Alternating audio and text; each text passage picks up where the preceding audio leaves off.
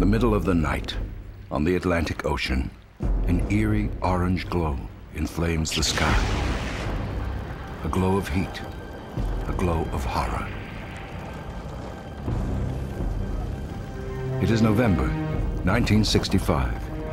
Fire is destroying a cruise ship, the Yarmouth Castle. Her passengers face the agonizing choice of risking the flames or the sharks of the Atlantic. Yet no call for help has been sounded, and the captain has abandoned the ship.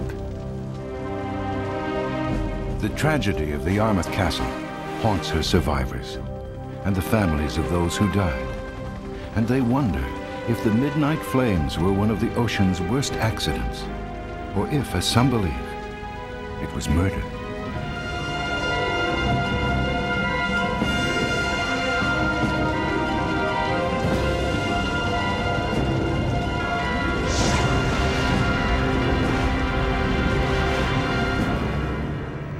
Modern cruise ship is a floating dream, serene and sumptuous, and subject to stringent regulations that make this most luxurious mode of travel also one of the safest. But there was a time when a voyage aboard these maritime palaces was far more perilous, a danger made horribly real in 1934 when the Morro Castle is engulfed in flames off the coast of New Jersey. Here are the first pictures of a terrible tragedy of the sea, equaled only by those of the Titanic and Lusitania.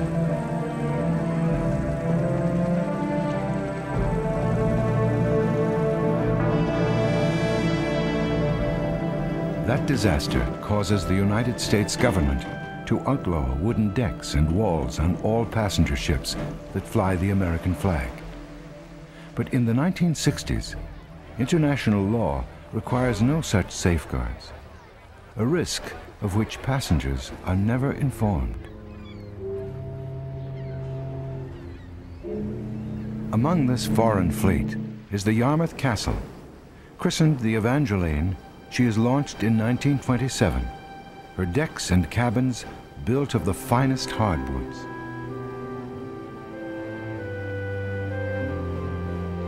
By 1965, she has been rewired and repainted countless times. And every weekend, she sails from Miami to the Bahamas.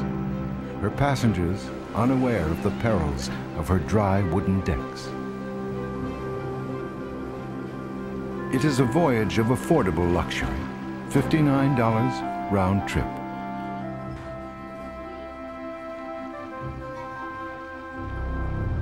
But her sailing of November 12, 1965, will be a one-way cruise to catastrophe.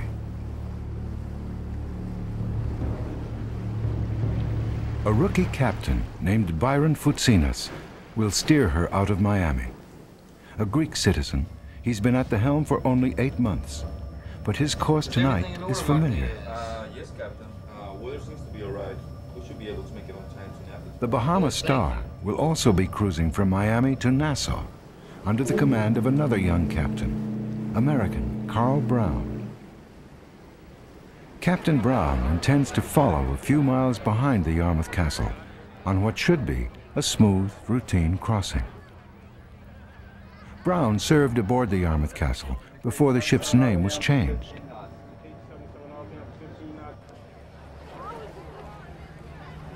It's an old seaman's tradition that if you change the name of a ship, you're going to change your luck.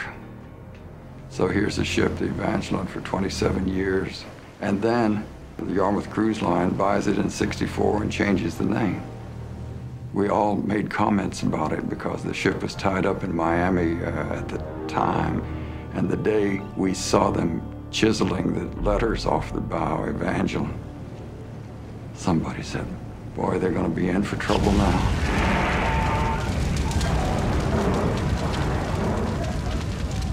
The Yarmouth Castle's name is new, and so is her crew. There are Americans, Europeans, Caribbean islanders, sailors from a dozen nations. Among the newcomers, Canadian Terry Wise, hired one day earlier as third purser a sort of hotel desk clerk at sea. I, of course, met every passenger as they boarded the ship. You welcome them aboard, take their boarding pass, check their ticket. Went on the Bahama Stars, it turns out, and said I was looking for a job as a purser. And they said, try the Yarmouth Castle, the ship right behind us. I know that somebody's just gone off sick. So I went down and uh, spoke to the chief purser, George Viates, and uh, I told him I'd had a lot of practical experience on ships. I'd basically just stowed away back from London to Montreal on the Empress of Canada. I didn't tell him I stowed away. He said, What was your last ship? And I said, The Empress of Canada. And so he said, Fine, you're hired. And uh, that was great. So we sailed that night into Miami. I got my uniform the next day, and uh, it was the next day it all happened. Kay and Marlene Thompson, the daughters of a senior Bahamian official, are returning home. Because we were sort of uh, frequenting and that sort of thing, and we did sail a lot, um, we got to know Captain Carl Brown on the Bahama Star and Captain Byron Voutsinas on the uh, Yarmouth Castle. Carl Brown uh, was a good friend of ours, and we dated for a while. The Yarmouth Castle is ready to sail. 379 passengers and a crew of 176.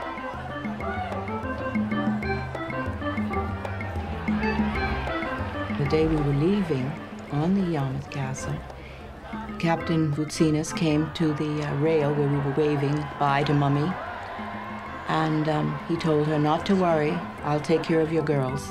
They'll be fine.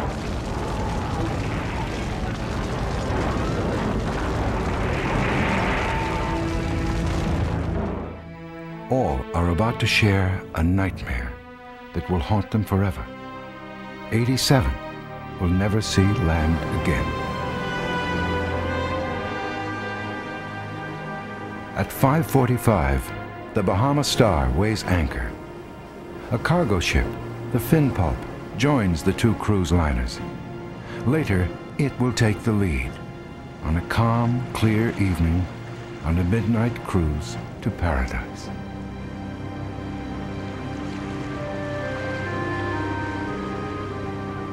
Aboard the Yarmouth Castle, passengers settle in. The Goldmans of Miami won their tickets in a raffle. They bring along their two oldest boys. I was excited that I was going on this trip. I have five children, and I hadn't been anywhere for a long time. So this was exciting to me, and just being able to go away. I commented the rooms were a little small, and uh, with four of us, was a little crowded, but uh, I said it's just for sleeping anyway. In fact, we could hear the rudder. When the ship moved, the rudder would creak. We were right near the rudder. But um, since we had a, uh, a donated cabin, we couldn't really complain. But there are a few less contented passengers demanding attention from Purser Terry Wise. When I got to the steamship company, I had the wrong tickets. The cabin I was supposed to get was not available, and they wanted to put me down below. I refused to get on the ship unless they would give me an outside cabin.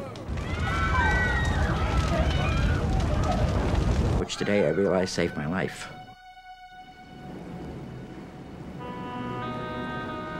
By 7 p.m., the Yarmouth Castle is cruising at a pace that will put her in Nassau by morning.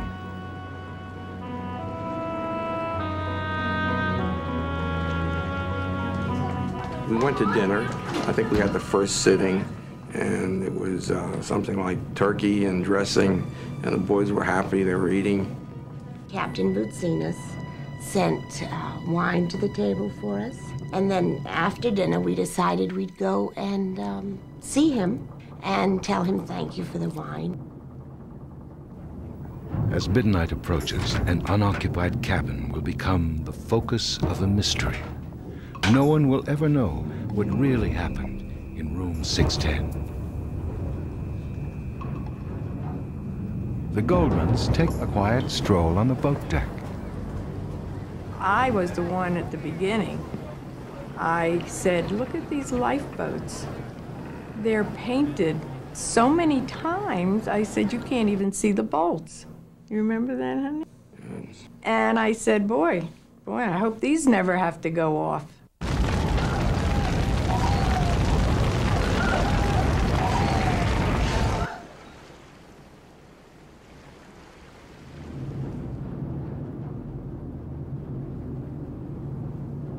I was dating Captain Brown at the moment. And um, when we left Captain Voutsinas, I said, Well, I'll go call Captain Brown. And he was, you know, he was shocked. He said, Well, where are you and what are you doing? Where are you? And I said, I'm in front of you on the uh, Yarmouth Castle. And he says, You didn't come on my ship. I'll get you when you get back. So uh, then we had a few more words, and then I hung up. And he said, I said, See you in Nassau. And a little did I know we'd be seeing Captain Brown very, very soon.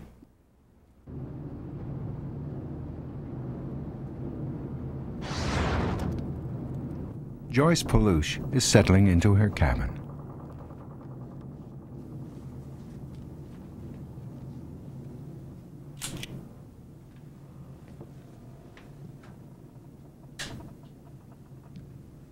Captain Voutsinas has turned in. The Yarmouth Castle is now under the command of the second mate. It should be an easy watch. But nothing about this night will be routine.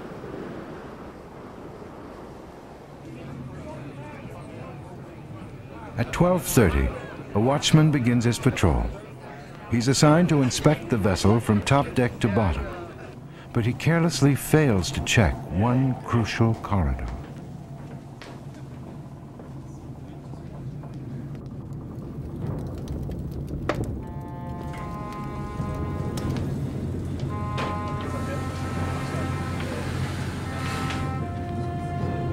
Five minutes later, the first hint of trouble. Smoke is pouring from the ventilation system in the engine room. Crewmen summon the chief engineer, George Vazios. But Vazios does not think the problem is serious, and no one notifies the sleeping captain.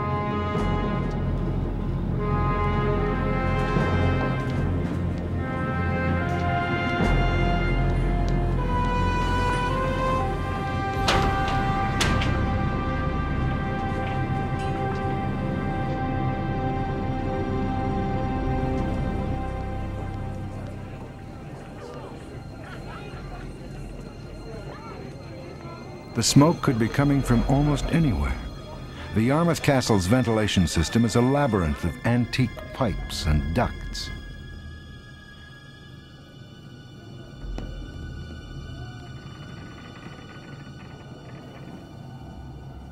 The watchman continues his rounds, but he never enters the hallway where the fire is smoldering.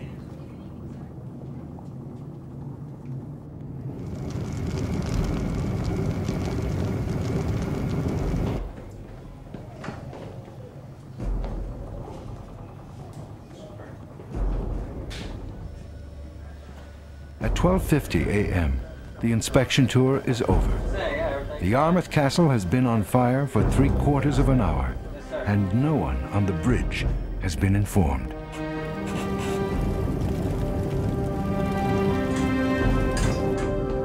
Only a few crewmen and the chief engineer know of the danger threatening the passengers and crew on this midnight cruise.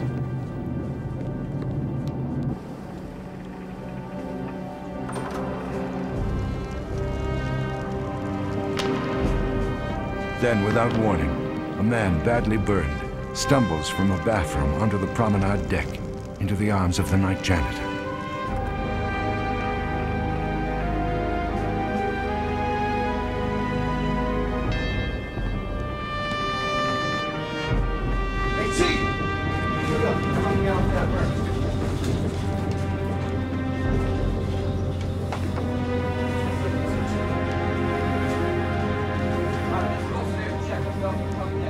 Still, George Vazios does not sound the alarm. He's certain that the fire is only a minor problem. It is a tragic mistake.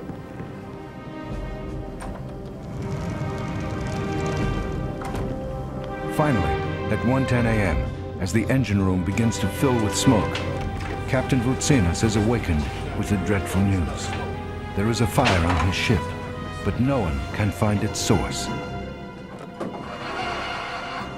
Captain Voutsinas orders the general alarm, but few will hear it.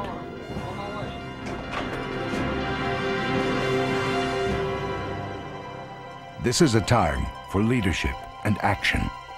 But aboard the Yarmouth Castle, there will be a tragic lack of both.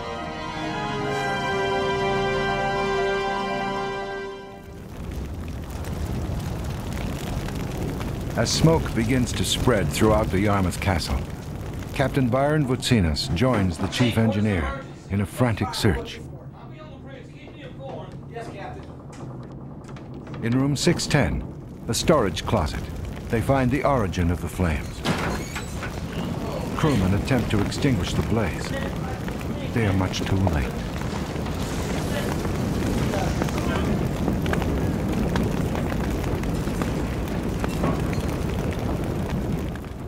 For more than an hour, the fire has been gaining strength. A wooden stairway has become a natural chimney, drawing the flames up through the wooden decks towards the bridge and the radio room.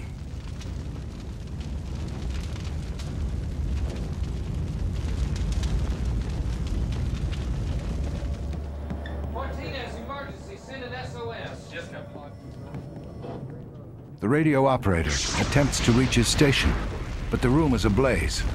The Yarmouth Castle cannot send an SOS. And before Captain Voutsinas can issue an announcement to abandon ship, the bridge is engulfed in flames.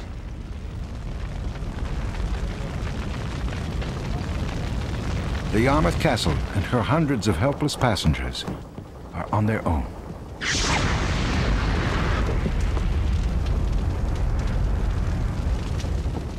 Guess it must have been around midnight or thereabouts. I heard all this noise, and I woke up, and this friend of mine was awake, and she said, Boy, that captain must be having some party. You can hear them breaking glass. And I heard about 1 a.m., I, I think, uh, some noises, and everyone's partying. And they were making more noise, and I got annoyed because I said, They're going to wake the kids. Real lot of giggling outside the room, so I opened the door, and there were these two boys. One was a young teenager, and the other about 10 or 12. And I asked them what on earth were they doing at that hour of the morning? Why were they making so much noise? And so the older guy said, Well, the ship's on fire, and we don't have any life jackets. And I said, Well, that's a very silly joke to be pulling at this hour. I said, You just don't do things like that. So he says, We're not joking. But I could hear all this running and everybody kind of milling around outside or, or clearing out. So I hopped out of bed, and I got dressed, and opened my cabin door, and just all it was was just thick, black, oily smoke just poured in. I remember my heart kind of skipping a little bit. Then I just had to get out of here. And I said, Wait a minute. I said, There's something wrong. And when I opened the cabin door, there was water, burnt pieces of lumber, and smoke. So I slammed the door shut, and I realized the ship was on fire. Then someone knocked on our door, and we opened the door, and a porter ran in. He ran to our closet, he opened the closet and took the life preservers and ran out. When he took the life jackets, I knew there, there was trouble. And uh, actually, I was ready to run out with the children, just in our uh, nightwear. And I said, no, hold up. Ships like this take a long time to, to sink and to burn. Let's get everybody dressed. And my friend, in the meantime, had been over by the, the porthole windows and could not do anything at all with them. They were just, couldn't open them. And uh, I went over, and I guess with the help of God, they opened. And I stuck my head out, and I looked to the left, and the whole ship was just burning from the waterline up. I looked above me, and there was nothing above me. And the first thing I noticed was a gentleman that his skin was completely burnt. I didn't want the children to see it. It, it was so horrible. I had never seen anything like that.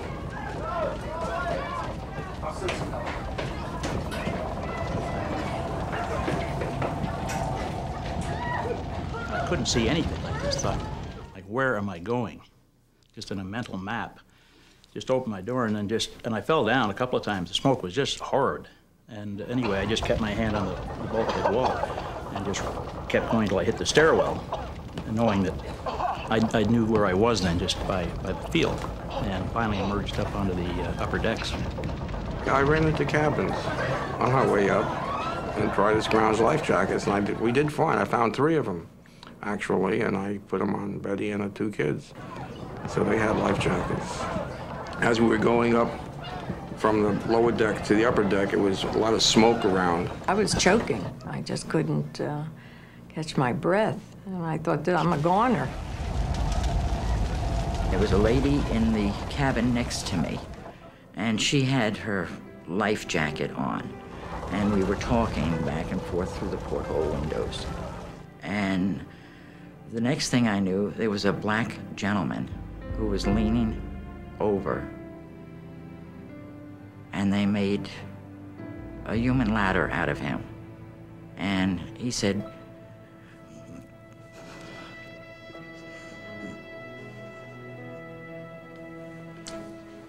He said, I'll pull you out. And he did. And then he pulled my friend down. And the lady next to us, she wouldn't take off her jacket. And they never got her out. She was more afraid of the water than the fire. And they never, I never saw her again.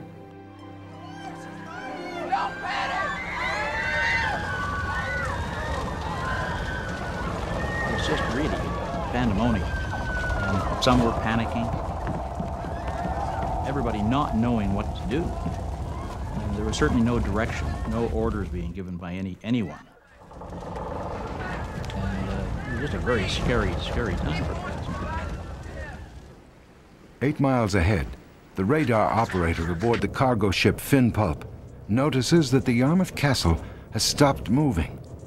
The Finnpulp reverses course, but it will take her 45 precious minutes to reach the stricken liner. Aboard the Yarmouth Castle, Captain Voutsinas has one hope left. A radio stowed in lifeboat number three. But it too is on fire. The heat so intense, the captain is overcome by the flames and the understanding that his ship is doomed. Some members of his crew said that at that point he seemed to have a nervous collapse.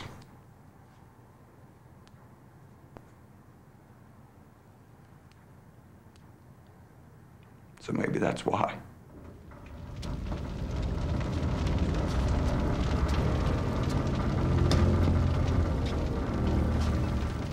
In the midst of the confusion, Voutsinas collects a few of his officers climbs into one of the first lifeboats to be lowered from the burning deck. After firing a few flares, they row toward the approaching Finnpulp. I don't know what he did. I know what he didn't do, but I don't, I don't know why. If someone goes into a state of shock, how can they be the leader that's expected? And how could anybody know that that was the way he would react? The Yarmouth Castle is now a ship without a captain.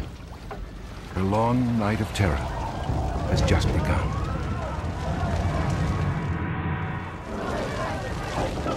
Two a.m. The luxury cruise ship has become a floating inferno.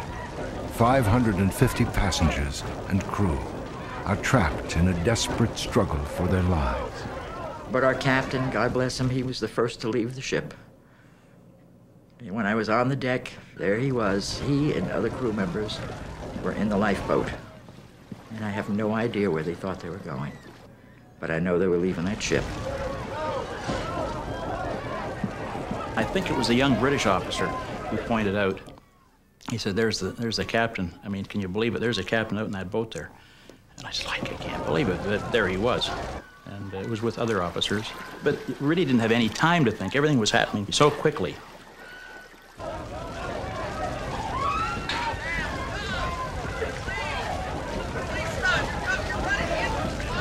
The fire consumes the wooden walls and decks of the 40-year-old liner. Then rages furiously towards the stern, where hundreds of passengers are huddled. Twelve miles away, the Bahama Star spots a strange glow on the horizon. Captain Carl Brown is called to the bridge.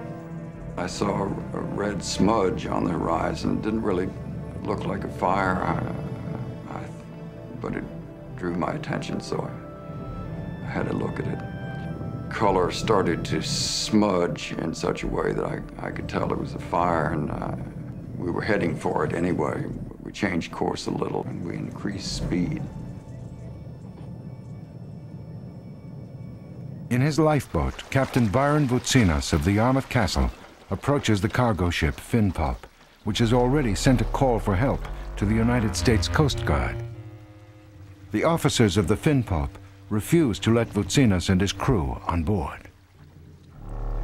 Captain Voutsinas will always claim that he never meant to abandon his command, only to summon help and then return to aid in the rescue.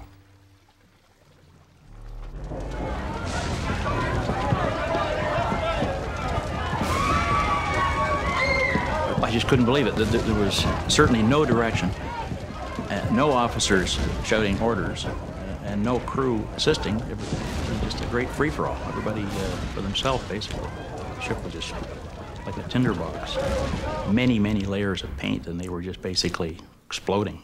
The sprinkler systems on board didn't seem to work that night. Fire hoses seemed to have no pressure, just a, just a trickle. And uh, I believe that some of the davits and the lifeboats were basically painted stuck.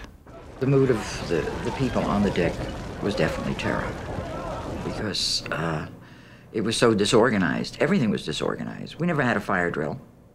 We never had a warning that there was a fire. We never had a fire alarm. There was nothing. But some crewmen stay at their posts and become heroes. Uh, I mean, people are still screaming all the time and, and stumbling around trying to find each other. I was at the same time trying to get people over the side. But other people, uh, they had to be forcibly pushed off the ship. I mean, I'd just pick them up and throw them over the side like, you're going. And, uh, or uh, here, I'll help you up, and then goodbye. It's a long drop. At that time, the fire was getting too thick and too heavy, and we couldn't, um, there was nowhere to go, and it was way down.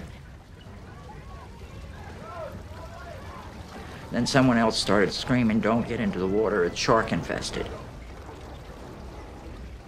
And Marlene looked at me and I at, at her, and I said, Well, I just hope Mommy and Daddy know that we died before the sharks got us. And then all of a sudden, as though out of nowhere, this very tall man appeared. And he was very, very calm, and he said, uh, There's a little ladder here which we had not seen before. And we looked immediately as he helped me over, and the man had disappeared. He had gotten us to this sort of clearing, clearing on the deck. Area. It was clear we could breathe, and we could see the, the, the uh, bow of the ship up in flames. I mean, literally, and kind of coming towards us. And he said, You'll be all right here for a while. Stay here as long as you can, but you can get over the side. There's the ladder. Wait there, the lifeboats will come we kind of think that he was our guardian angel because literally after that, everything, we started to, to get to safety. Up on the upper decks, we went to see if we could get into the lifeboat. And there were uh, two or three crewmen trying to launch the lifeboat. And I guess Betty and I and the kids got into the lifeboat. And, and while we were in the lifeboat, the lifeboat turned on its side and uh, I lost my grip on Randy, and then I reached down. He had fallen, but fallen to the side of the lifeboat. I remember reaching out and, and bringing the kids back onto the ship from this lifeboat because it was uh, in serious danger of, of slipping or falling or going askew. I remember helping Mr. Goldman and handing him back the kids. And just before he left, I gave him my life jacket. I said, "Go with your, go with your wife and kids. Come on, get out of here. Go with them." And because he had been helping me throw things off. And I said, no, just get off with them. I'll be fine. Approaching the Yarmouth Castle, Captain Carl Brown of the Bahama Star can see lifeboats in the water and panic on the decks. We got our full crew on the job and we swung out all our boats, 14. So that by the time we arrived, we were ready to lower the boats. Aboard the Bahama Star, a passenger records horrifying images of fire at sea. At 2.25 a.m., the Bahama Star pulls alongside.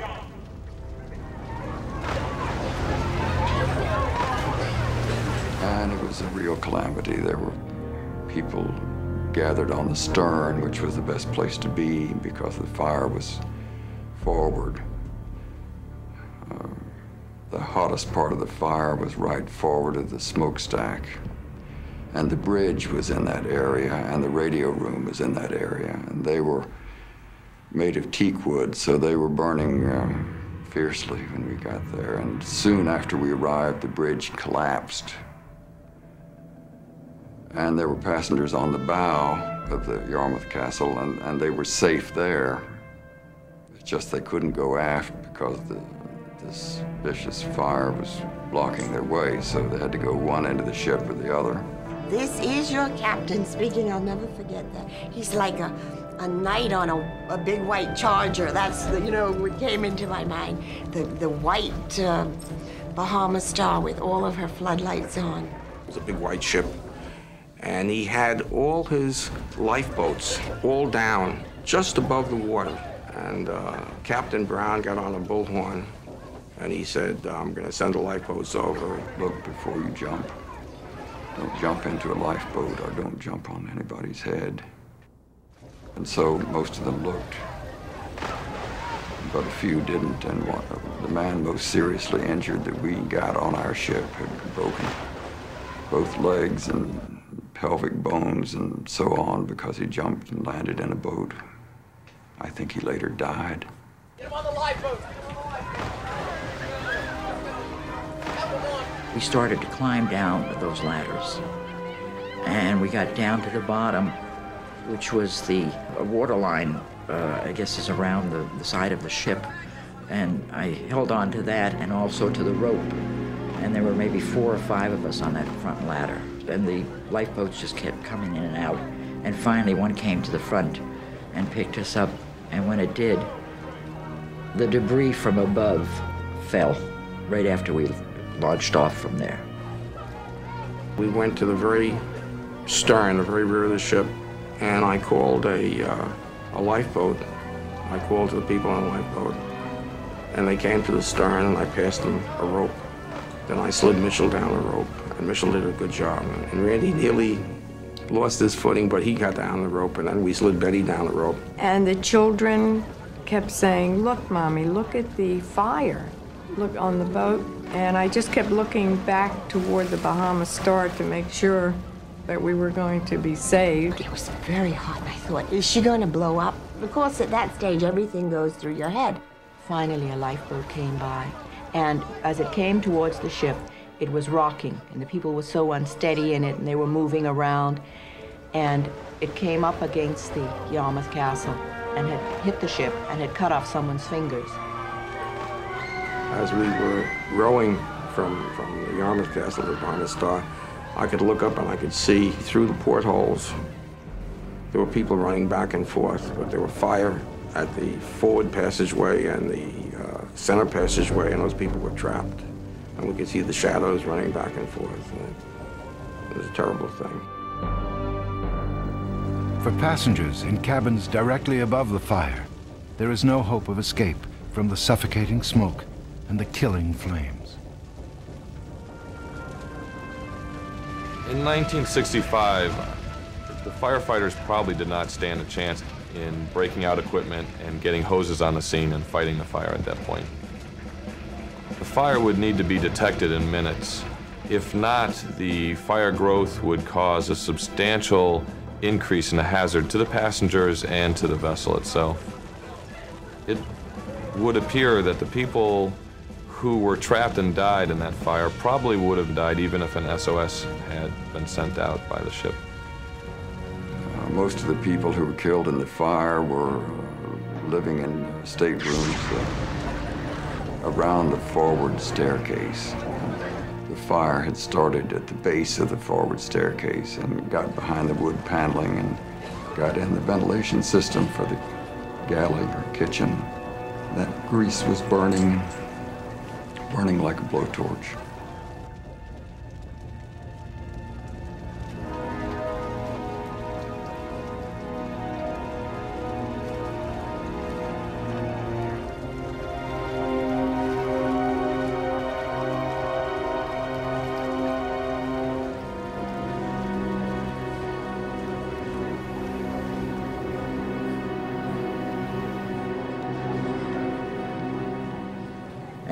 And then we were taken onto the Bahama Star. And as soon as we got on the ship, they gave us uh, they gave us a, a, a, shot of whiskey, a pack of cigarettes, and a blanket. I remember those three things so distinctly. And they had sandwiches and, and liquor and things like that spread out. We weren't particularly hungry, but they had they had refreshments spread out for the people, for the survivors. But when I finally did go off, there was nobody else on the ship that I could see. No, no passengers. Nobody left really. And Captain Brown was making from the from the bridge of his ship was indicating like get off, jump into the water, get off now, get off. So I kind of thought, well, I guess it's, now's the time. But uh, as it turned out, I went off a rope, and I landed right in one of his lifeboats. I didn't even get my feet wet. By 4 a.m., the last survivors have left the Yarmouth Castle. I had hoped that everybody made it on deck.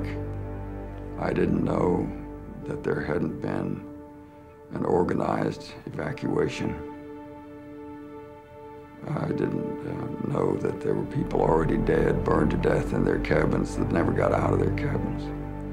So we picked up everybody we could find, and that turned out to be about uh, 374. I was talking to some of the people, and one gentleman in particular, uh, his wife had taken some sleeping pills, and um, he just could not move her. He ran out, hoping that it wouldn't be anything serious and that she would be okay. But she did die in the cabin. It was very sad, I think, a lot of the stories.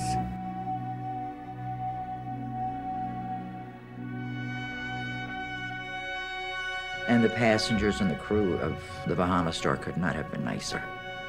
I had a passenger offer me their cabin, and I went down, and I think I was in there for about 30 seconds and had to run out and get back on deck again. I could not be inside that cabin. Well, I, I was on the bridge, and Captain Voutsinas came to the bridge just shortly before his ship sank. And he said, I want to go back to the ship and he was covered with soot and, and all. I said, Your ship is going to sink. And then someone distracted me in some way, and I looked away, and when I looked back again, he was gone. I don't know why he wanted to go back, because the ship was completely on fire from bow to stern. He wouldn't have been able to do anything. Maybe he wanted me to know that he wanted to go back. Don't know what happened after that.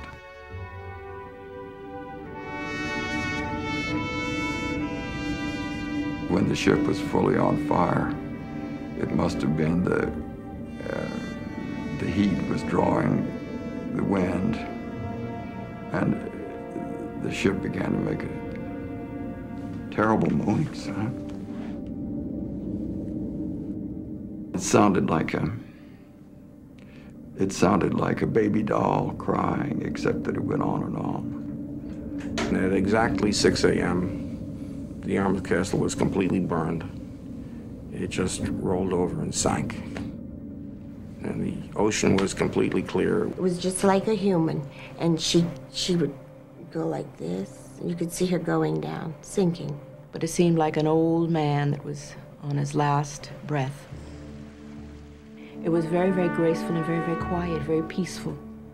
Like at last she'd found peace, you know. And there were only three things. There were three empty lifeboats. And that was, it was very, very moving, actually. She will come to rest 1,800 feet below the warm Atlantic waves, holding forever the bodies of 87 people. leaving the mystery of whether her loss was an accident or arson.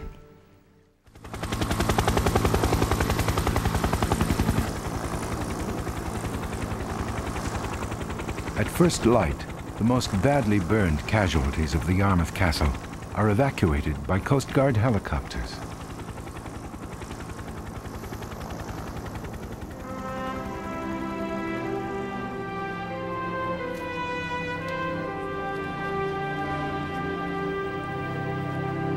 The Bahama Star carries other survivors to Nassau and the end of their ordeal.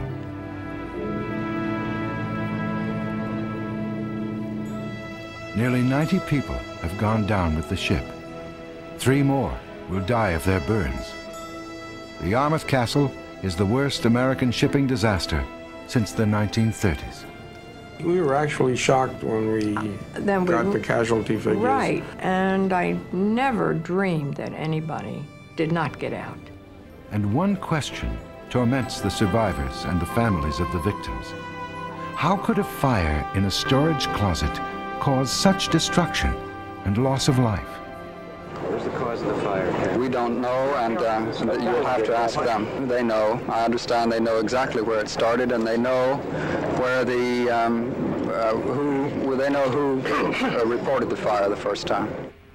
In Nassau, as the Thompson sisters are reunited with their parents, a rumor has already spread the fire was not an accident. We think perhaps it could have been prevented, the fire could have been prevented, had the crew known in time. But um, on the other hand, we also think if it was uh, arson, it was done properly so that no one would know. There was a lot of speculation in uh, Nassau, chatting to then other crew members that I was meeting there, and, and, and everybody seemed to uh, have different ideas and stories, but the one rumor that kind of kept cropping up was that it was probably set, that uh, it almost had to be where it was located and how fast it went. Within a week, the Coast Guard convenes an official inquiry in Miami. Experts testify that aging ships like the Yarmouth Castle were floating disasters waiting for a single spark. We have for years been pointing out that these vessels are unsafe. One of the things about this vessel that the passengers couldn't possibly have known about, but which we have complained about, is that they are not required to meet the safety requirements that American vessels are. Protected from American safety regulations by their Panamanian flag, the Yarmouth Castle was a legal fire trap. But how did the fire start? Captain William Kessler was a member of the inquiry. The theories about how it started was that this room, 610, where the uh, fire started, had been used as a storage area and had mattresses in it, but it had also a naked bulb light bulb and naked wires leading to that light bulb. Now, that was the one theory that the mattresses came in contact with the light bulb, but how actually it started, we weren't able, able to pin that down. The real problem was in the watchman not uh, finding the fire and smoke on his rounds, and apparently there was fire and smoke at this time. The Coast Guard is critical of many of the crew's actions. The failure to detect the fire earlier, the failure to sound a general alarm, and individual acts of negligence and cowardice.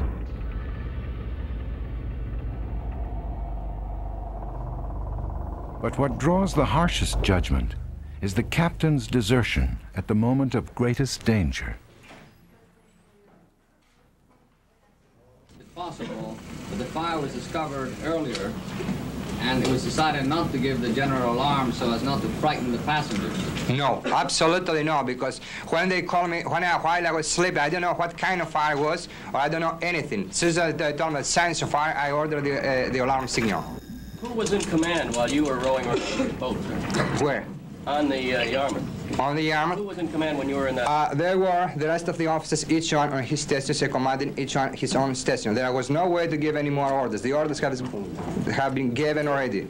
The uh, Board of Investigation found that his actions in leaving the vessel were negligent He did not exercise the command responsibility that was expected of a captain of a vessel, and his whole actions during that period were not that what would be expected of a passenger vessel master. As a foreign national, Voutsinas cannot be charged with negligence by American authorities. But his career as a passenger ship commander is over.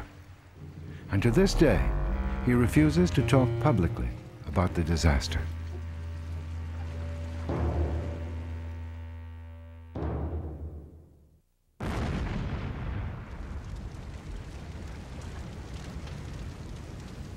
In the 1990s, fire science achieves new expertise, leading to a more accurate analysis of the destruction of the Yarmouth Castle.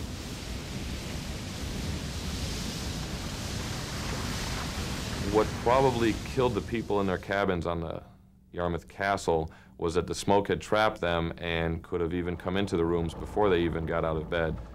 As the fire grows in the, the compartment of origin, it reaches a point where the entire room becomes involved, and that's called the point of flashover. It is very difficult to fight the fire at this time because of the large amount of heat that's being generated and the large amount of smoke that's leaving the compartment. But how did the deadly blaze start? Captain Voutsinas suspects arson, and he is not alone.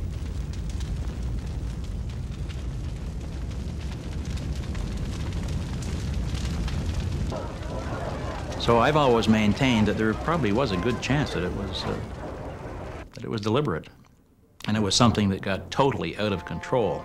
I don't think it was meant to have that sort of an impact that deaths occur.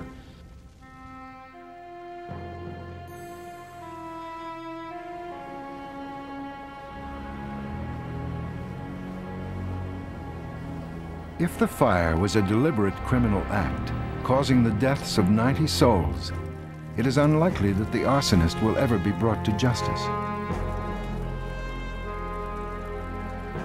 Whatever its cause, the catastrophe forces a rewriting of the rules that govern the cruise ship industry.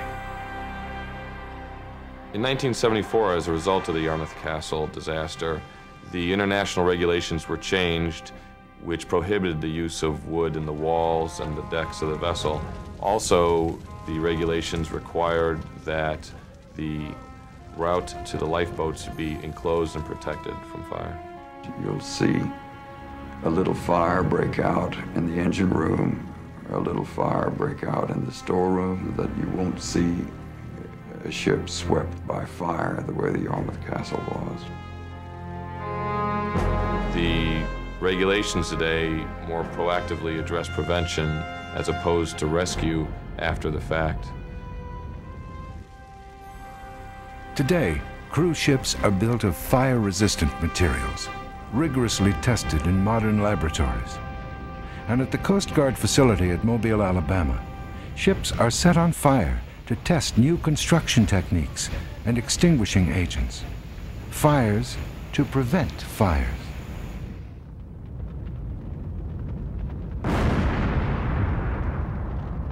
This is one of the strategic accident sinkings, uh, tragedies that uh, resulted in, uh, in kicking off this uh, SOLAS, SOLAS, or Safety of Life at Sea. Uh, no matter what flag, they have to meet very stringent U.S. Coast Guard criteria. So, no, I really don't think that uh, this is going to happen, certainly in North America again.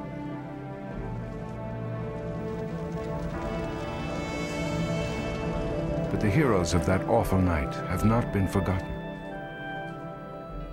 Captain Carl Brown receives a commendation for his role in the rescue of hundreds of survivors.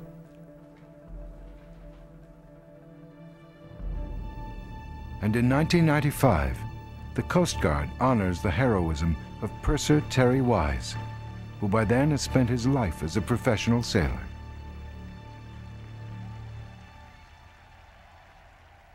Even now, many of the survivors of the Yarmouth Castle find it impossible to forget that night of horror. I see some faces of some people. I see that lady's face in the cabin next to me sometimes. And she shouldn't have, she shouldn't have perished. These people should, nobody should have died on that ship. Nobody. A waste of life. I did not want to look at a boat. I didn't want to go near the water.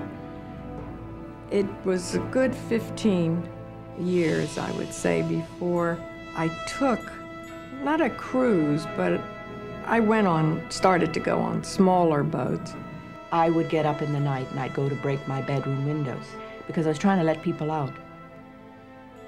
And Mummy, bless her soul, she'd always be checking us every 15, 20 minutes. She couldn't sleep for the first few weeks that we were back. She had to keep looking at us to make sure we were there, we were all right, we were still okay. I can just see the ship on fire and I can still basically smell that acrid smoke. And uh, I can put myself right back against, the, uh, right on the boat deck by that rail so easily and uh, still see it very clearly.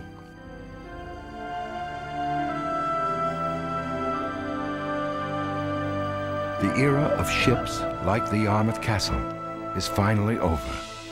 A deadly season of water, flame, and fear.